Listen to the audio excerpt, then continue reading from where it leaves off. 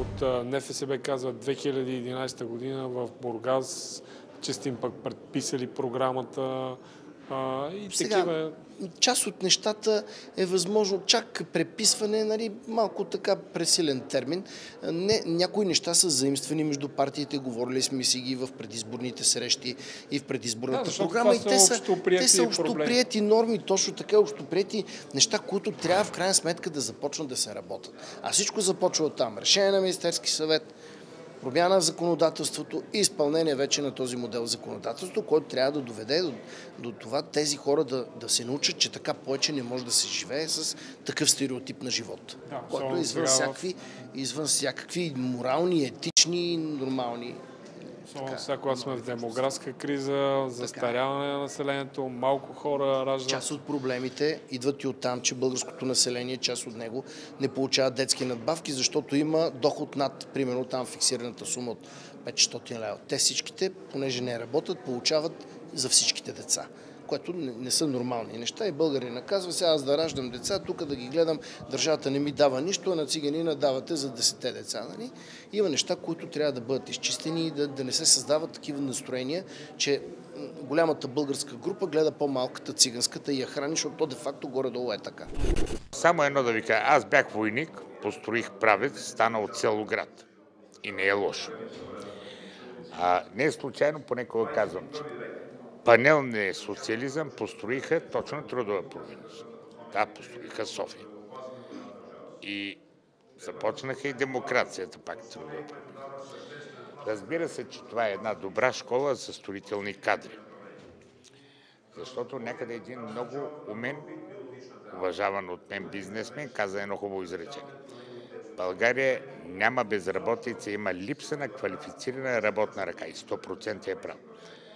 Строителни войски се подготвяха строителни техници, кофражисти, арматуристи, мазачи. Все е професия, необходима за живота на хората. Най-общо погледнах върху тази програма. Нали? Това са заложените неща в програмата на НФСБ и след това в Патриотичния фронт. Основните пунктове са тези.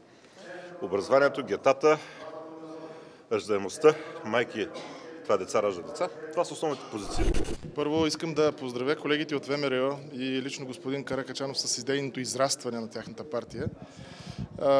Това в кръга на шегата, естествено, защото знаем, че някои хора се опитваха да, да ограничат тези, тази общност в концентрационни лагери, така наречените атракциони. Но сега по същество.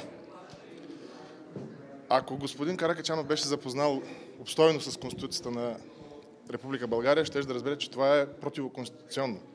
Защото всички ние се раждаме с равни права и имаме свободно движение. Тук става, един, става дума за един вид крепостничество. Казвам аз, ако някой не иска да се занимава с земята, която ще му се предостави, той обработва. Това не е ли вид принуда?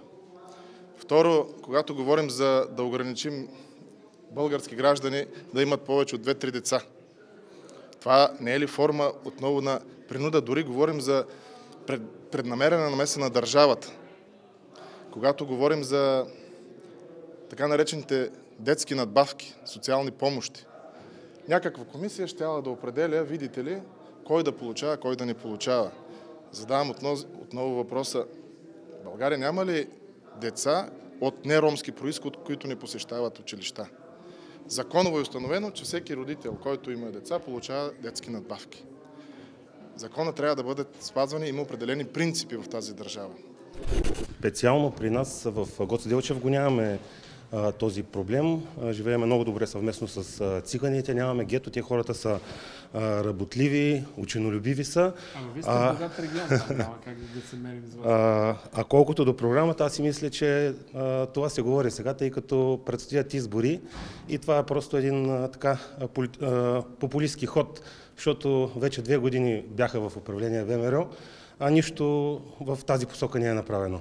Значи ви прилича на предизборно говорене с цел втвърдяване на електоралните ядки, да използвам този термин на социолозите. Да, такова е мнението ми. Как мислите, така не може да се решава политика, когато хвърляш нещо и не получаваш подкрепа?